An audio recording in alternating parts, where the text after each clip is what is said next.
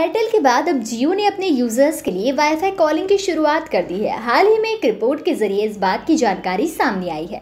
इस फीचर के ज़रिए यूज़र्स वाईफाई नेटवर्क के द्वारा कॉलिंग कर पाएँगे। वाईफाई कॉलिंग यानी वीओ वाईफाई के ज़रिए सब्सक्राइबर्स को भीड़भाड़ वाले इलाकों में भी बेहतर इंडोर कवरेज और अच्छी कॉल क्वालिटी मिलेगी। आपकी जानकारी के लिए बता दें कि पिछले हफ़्ते एयरटेल ने भारत में अपने यूज़र्स के लिए सुविधा की शुरुआत की थी।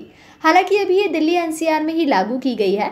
मुकेश अंबानी के स्वामित्व वाली कंपनी जियो द्वारा जियो वाईफाई कॉलिंग की टेस्टिंग पिछले काफ़ी दिनों से की जा रही थी। अब एक नई रिपोर्ट के मुताबिक इस सर्विस का विस्तार कुछ और क्षेत्रों में किया गया है। खबरों के अनुसार जियो की ये नई सुविधा अभी नासिक, महाराष्ट्र सर्कल और दिल्ली में लागू की गई है।